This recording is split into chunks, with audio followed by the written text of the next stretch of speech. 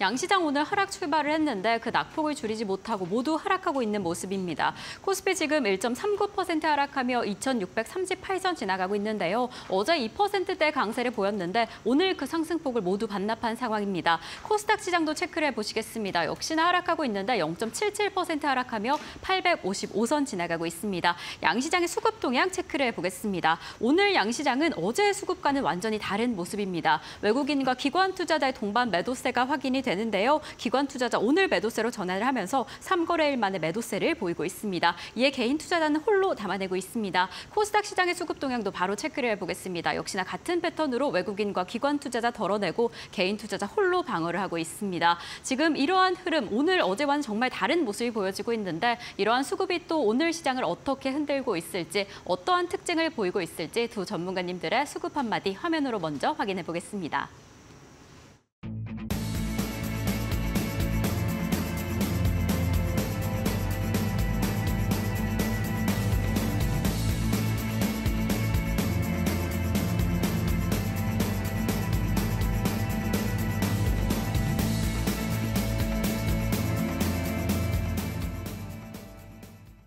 네, 지금 오후장 지금 수급적 특징은 어떠한지 이 수급적 특징이 시장을 어떻게 흔들고 있을지 두 분의 전문가님 모시고 이야기 나눠보겠습니다. ISS의 김태성 본부장님, 프레스티지 경영전략연구소의 반종민 소장님 모시겠습니다. 두 분 어서 오세요.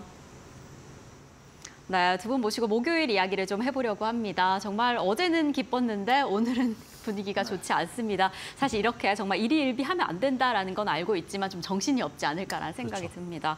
사실 실적이 계속해서 이어지고 있어서 그 네. 부분도 변동성이 좀 강력한데 어찌 보면 예상하지 못하셨던 부분이 SK 하이닉스가 아닐까 싶어요. 이렇게 그렇죠. 좋았는데 왜 이렇게 안 그러니까요. 좋을까요? 일단 어제 아침만 하더라도 네네. 예, 테슬라가 시간에서 정말 좋은 모습을 보이면서 그렇죠. 우리나라 증시에 오랜만에 활력을 좀 불어넣었죠. 그리고 이제 전일 어, 미증시가 답보 상태에 흐르긴 했지만 장 맞추고 나서 메타의 실적이 나왔는데 메타의 실적 또한 굉장히 좋았습니다. 근데 이제 문제는 여기서부터 이제 삐걱거린 거죠. 메타가 좋은 실적을 발표했음에도 불구하고 AI에 이제 과도한 투자를 하게 되면 앞으로 다가오는 2분기, 3분기 정말 수익성을 유지시켜 줄 수 있을 것이냐. 여기에 이제 빨간불이 켜지면서 두 자릿수 이제 급락을 했고 이것을 우리나라 기업들의 어떤 실적으로 상쇄시킬 수 있지 않겠는가라고 기대를 좀 할 만큼 SK하이닉스가 말도 안 되는 실적을 좀 내왔는데 아무래도 이제 이 컨센서스를 계속 상향해온 만큼 어, 그 기대감을 좀 어떻게 말하면 좀 불충족했다라고 해야 될까요? 그러니까 너무 이제 눈높이를 높이 이제 잡은 탓에 강하게 이제 매수가 이제 들어오기보다는 일정 부분 수익을 좀 챙기자 하는 어떤 매도 심리가 조금 강하게 작용을 했던 오늘 하루가 아니었나라는 생각이 들고 있고 지금 장 중에 많은 기업들이 또 실적이 나오고 있는데 또 현대차도 이제 실적을 발표를 했어요. 근데 실적 발표하고 나서 지금 또 변동성이 나오고 있다 보니 굉장히 좋은 어떻게 보면 어, 우리가 생각했던 것보다 견고한 실적이 나오긴 했으나 조금은 아쉬운 조금 수급 상황이 아닌가라는 의견으로 한번 정리드려 보도록 하겠습니다. 네, 지금 SK 하이닉스도 그렇고 현대차도 그렇고 좋은 실적에 비해서 그 기대감을 충족시키지 못하는 네. 상황입니다. 특히나 현대차는 수급 부분이 조금 아쉽다라고 그렇죠. 이야기를 해주셔서 그 부분에서 변동성이 확인되는 게 아닌가라는 생각이 듭니다. 또 이런 시장 안에서 어떤 종목 체크해보면 좋을지 잠시 후에 확인을 해보겠고요. 그럼 소장님께도 여쭤보겠습니다. 소장님께서는 반도체 상승 흐름 살아있다라는 이야기를 해주셨어요. 사실 어제 5% 상승했는데 오늘 거의 다 빠진 게 아닌가라는 생각이 드는데 아직 살아있는 걸까요? 예, 충분히 살아 있다 라고 아. 생각하시면 좋을 것 같고 네네. SK 하이닉스 어닝 서프라이즈에 대해서 좀 생각을 해보셔야 될 게 뭐냐면은 그냥 단순한 그 부분들은 아닙니다. 그래서 여기에서 지금 실적을 좀 체크를 하셨을 때 당연히 전년 동기 대비에 대한 의미를 좀 크게 두지 마시고요. 전 분기 대비 지금 얼만큼 상승을 하고 있는지 포인트를 잡고 어, 보셔야 될 것 같거든요. 저 아침에 보고 좀 깜짝 놀랐습니다. 정확하게 8시 10분인가 그때 이제 실적이 발표가 되면서 전 분기 대비 얼만큼 상승했는지 좀 체크를 했었거든요. 근데 체크를 해보니까 734% 영업이익이 증가를 했던 것을 봤을 때는 이러한 흐름들이 좀 더더 이어질 가능성이 높지 않나라고 보고 있고 여기서 제일 중요한 게 뭐냐면은 5월 1일 때 이제 뭐 근로자의 날이니까 그때는 뭐 주시장이 열진 않, 열리진 않겠지만은 그때 이제 4월 그 산자부에서 그 반도체 관련된 수출입 동향 데이터가 아마 발표될 예정입니다. 그렇게 되면은 반도체 수출이 3월 달부터 증가를 했다 하면은 이러한 기조가 2분기까지 계속 좀 이어질 가능성이 높기 때문에 반도체의 흐름들은 아직까지 좀 살아 있고요. 심지어는 SK 하이닉스에서 지금 투자를 좀 발표를 했고 삼성전자 쪽에서도 테일러시 쪽에 이제 투자에 대한 내용들이 좀 나왔기 때문에 여기에 따른 뭐 SK 하이닉스와 삼성전자도 좋기는 하지만은 반도체 소부장 관련된 기업들도 같이 좀 체크를 하고 살펴보 시면은 좋지 않을까라는 말씀드리겠습니다. 네, 오늘 뭐 SK 하이닉스 주가가 좀 하락하고는 있지만 전기 대비 수치를 보면 정말 그 상승폭, 상승 흐름을 이해하실 수 있을 것 같습니다. 이 부분이 미래에 대한 전망을 좀 말해주는 게 아닌가라는 생각도 들고요. 이런 시점 안에서는 반도체 소부장 관련 종목까지 함께 체크해 보시면 좋을 것 같습니다. 자, 그럼 저희는 최훈 앵커와 함께 지금 수급적인 특징을 보이고 있는 종목들이 어떻게 되는지 지금 체크해 보도록 하겠습니다. 네, 오늘 코스피 안에서 외국인들은 어떠한 기업을 사고 팔고 있을까요? 함께 만나보도록 하겠습니다. 일단 오늘 삼성전자 같은 경우에는요, 외국인들이 가장 많이 매수하고 있는 기업으로 확인되고 있고요. 두 번째로는 한화생명, 그리고 세 번째로는 한화시스템, 그리고 네 번째로는 신한지주 올라와 있습니다. 다섯 번째로는 BNK 금융지주 올라와 있는데 최근 들어서 외국인들이 계속해서 금융주를 사고 있는 것으로 확인되고 있고요. 또 두 번째 오늘 매도하는 기업들 살펴봤더니 A프로 젠을 가장 많이 매도하고 있는 것으로 확인되고 있습니다. 두 번째는 SK하이닉스고요. 세 번째로는 롯데 손해보험 그리고 네 번째로는 조일알미늄 다섯 번째로는 일진전기 올라와 있습니다. 어, 그렇다면 오늘 외국인 투자자들은 코스닥 안에서 어떠한 기업을 사고 팔고 있을까요? 이어서 만나보시죠. 네, 오늘 외국인 투자자는요, 코스닥 안에서 폴라리스 AI를 가장 많이 사들이고 있는 것으로 확인되고 있습니다. 아, 그리고 두 번째로는 오가닉티 코스메틱, 그리고 세 번째로는 이스트아시아 홀딩스, 그리고 나, 네 번째로는 와이즈버즈, 다섯 번째로는 CT 프로퍼티 현재 올라와 있는 상황이고요. 매도하는 기업들 살펴봤더니 시그네, 예, 시그네틱스, 그리고 두 번째로는 코스나인, 그리고 세 번째로는 모비데이즈, 네 번째로는 HB 테크놀로지, 그리고 다섯 번째로는 최근에 급등 흐름이 나왔던 시노펙스 올라와 있습니다. 어, 그렇다면 오늘 코스피 안에서 기관 투자자들은 어떠한 기업을 사고 팔고 있을까요? 이어서 만나보시죠. 네, 오늘 기관 투자자들은 이 코스피 시장 안에서 한화엔진을 가장 많이 사들이고 있고요. 두 번째로는 HD 현대 인프라코어 그리고 세 번째로는 두산 에너빌리티 올라와 있습니다. 네 번째로는 BNK 금융지주, 다섯 번째로는 NH 투자증권. 외국인과 기관 투자자들이 다시 한번 금융주를 담고 있는 모습이 확인이 되고 있고요. 오늘 매도하는 기업들을 살펴봤더니 삼성전자, SK하이닉스 가장 많이 매도하고 있습니다. 세 번째로는 안 하나오션 그리고 네 번째로는 삼성중공업 오늘 시장에서 조선주 좀 올라와 있고요. 그리고 다섯 번째로는 한화투자증권 올라와 있습니다. 그렇다면 코스닥 쪽의 기관 투자자들의 흐름은 어떨까요? 함께 만나보시죠. 네, 오늘 코스닥 안에서는요. DIT 가장 많이 매수하고 있고요. 두 번째로는 STI, 세 번째로는 원텍, 그리고 네 번째로는 주성 엔지니어링 올라와 있습니다. 주성 엔지니어링은 계속해서 덜어내는 흐름 보여주고 있고 다섯 번째로는 하나 30, 33호 스팩 올라와 있습니다. 어, 그리고 오늘 매도하는 기업들은요. 첫 번째로는 KSP고 두 번째로는 스팩 종목, 그리고 세 번째로는 글로벌 텍스프리 올라와 있습니다. 어제부터 오늘까지 글로벌 텍스프리 기관들을 계속해서 덜어내고 있는 상황이고 네 번째로는 동국산업 그리고 이 액면 분할한 후 다시 한번 재상장한 에코프로가 다섯 번째로 이름 올리고 있는 상황입니다. 네, 지금까지 수급 상황 알아보고 왔습니다. 네, 이렇게 수급별 특징에 따른 종목들을 체크해봤습니다. 지금 외국인 투자자가 삼성전자를 담아내고 있는데 기관 투자자는 또 가장 많이 덜어내는 모습이 확인이 되기도 하고 기관과 외국인 투자자, 금융주의 움직임이 확인이 됩니다. 이러한 수급적 특징을 가지고 움직이고 있는 종목들, 어떠한 특징이 있는 종목들이 또 있을지 두 분의 전문가님이 꼽아주신 특징주 확인해 보도록 하겠습니다. ISS의 김태성 본부장님께서 한솔케미칼 그리고 진에어 잡아주셨고요. 반종민 소장님께서는 화승 엔터프라이즈 그리고 솔루스 첨단 소재를 가져와 주셨습니다. 이 종목들은 지금 어떠한 수급의 힘으로 움직이고 있을지 한솔케미칼부터 출발을 해보겠습니다. 네, 본부장님께서 한솔케미칼 가져와 주셨어요. 지금 네. 수급 상황이 좀 어떻게 보여질까요? 어, 일단 뭐 기관 외국인이 뭐 네. 대량으로 매수한다라고 보기는 어렵지만 이 제가 이제 화면에 이 수급 화면을 좀 띄워놨는데요. 연기금의 수급의 연속성을 우리가 좀 체크를 해볼 필요는 있다라는 생각이 듭니다.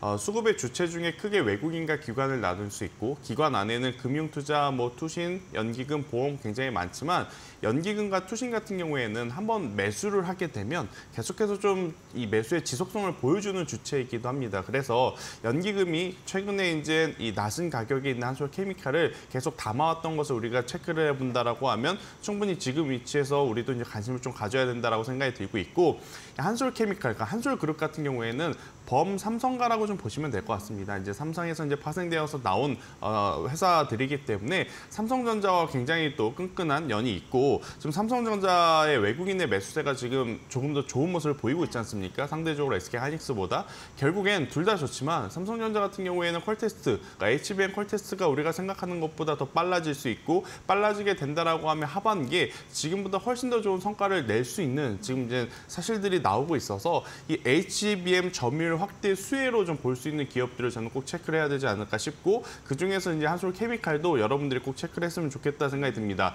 일단 한솔 케미칼 같은 경우에는 이제 과산화수소라고 하는 어, 제품을 이제 반도체용으로 납품을 하고 있는데 반도체뿐만 아니라 이 QD 가동률까지 이제 계속해서 개선이 되는 모습을 보였기에 그동안에 참 움직이지 않았었던 종목군들 중에 하나입니다. 하지만 이제 최근에 앞서서도 좀 말씀드렸다시피 가동률이 개선이 되고 있고 또 이제 삼성전자 쪽으로의 이제 HBM 관련한 어떤 수요가 증가하게 된다라고 하면 지금보다 훨씬 더 좋은 모습을 좀 보여줄 수 있지 않을까 싶고요. 한솔케미칼이 시총이 이존화됩니다.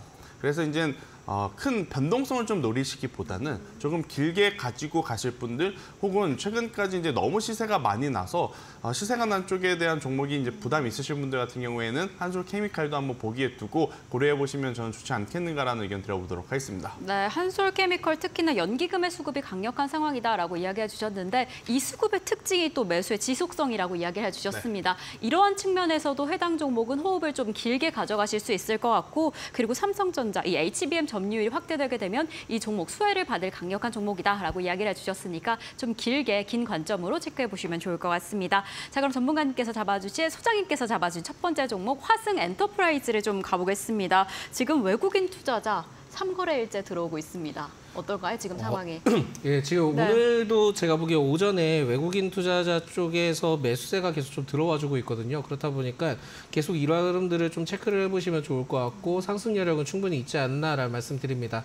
특히 이제 1분기 때 영업이 흑자 전환이 좀 기대되는데 동사의 경우에는 좀 생소하실 수 있겠지만은 브랜드 그 아디다스 쪽에 ODM 그 생산 업체다라고 보시면 될 것 같고 리복도 있습니다. 그만큼 환율이 상승하면 상승할수록 동사의 경우에는 굉장히 좀 수혜를 받을 수 있다 보니까 1분기 실적에 대해서도 굉장히 좀 기대될 수 있지 않을까 보고 있고요.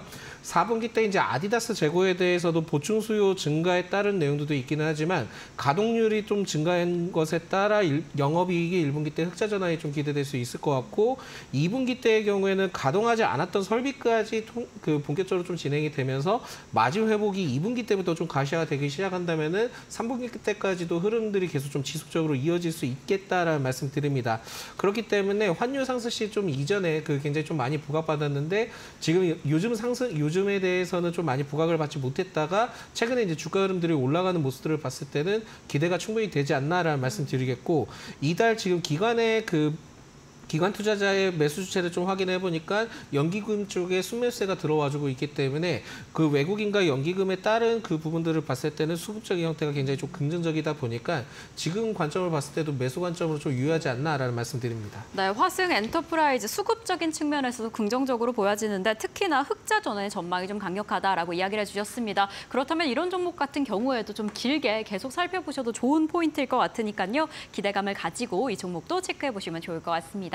자, 그럼 본부장님께서 잡아준 두 번째 종목 진에어로 넘어가 보겠습니다. 진에어 지금 외국인이 좀 들어오고 있습니다. 네, 일단 뭐 외국인들이 네. 지네어 이 주식에만 그런 것이 아니라 아, 네. 우리나라에도 들어오고 있죠. 네, 전반적으로. 네, 그렇기 네. 때문에 이제 이 항공사들 그리고 이제 항공사에서 또 파생할 수 있는 화장품이라든지 면세, 카지노 이쪽은 어, 성수기가 지금 도래하고 있는 상황이라서 여러분들이 꼭 한번 보셔야 되지 않을까 싶습니다. 사실 이제 진에어를 비롯해서 LCC 관련 기업들은 어, 작년 4분기에도 한 번 더 움직일 수 있는 혹은 올해 1분기에도 조금은 멈춰 움직일 수 있었던 상황이긴 했었으나 그때마다 자꾸 이제 WTI 유가의 상승이 발목을 좀 잡았었거든요. 하지만 이제 최근의 흐름을 놓고 보면 WTI가 유가가 오른다 하더라도 그것을 그것들을 굉장히 많은 고객들로 좀 상쇄할 수 있다라는 이야기가 나오는 상황이라서 저는 만약 지금 여러분들이 어떻게 보면 reopening 관련해서 혹은 중국 관광객들에 대한 부분을 좀 고려를 해봐서 trading 하신다라고 하면 이 LCC 쪽에서 이제 꼭 체크를 하셔야 된다 생각이 들고 있고 그 중에서 지금 진에어 같은 경우에는 뭐 진에어뿐만이 아니라 다수의 지금 LCC가 어, 작년 3분기, 4분기부터 일본 노선을 확대한 것에 대한 수혜를 많이 받았어요. 그리고 이제 동남아 노선과 이제 일본 노선이 가장 많다라고 좀 볼 수 있는 진에어가 가장 또 좋은 실적적인 성과를 낼 수 있는 지금 상황이다라고 좀 보시면 될 것 같고요.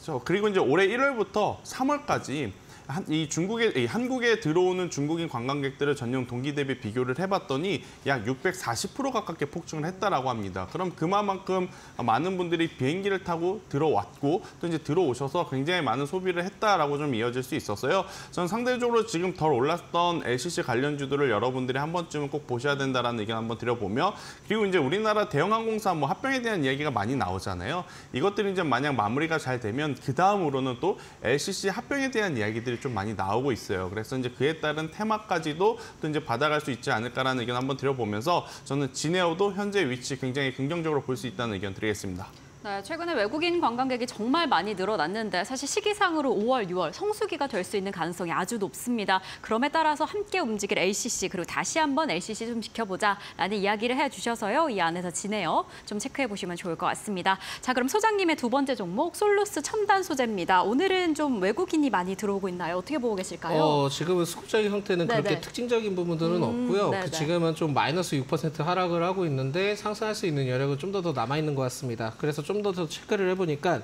동사의 경우에는 그 지금 전지박 그 관련된 동박 관련된 그 이슈들이 좀 있기는 한데 이 이슈 때문에 주가 변동성이 좀 상당히 심하고 전 거래일 때는 외국인의 순매수가 좀 강하게 들어왔거든요.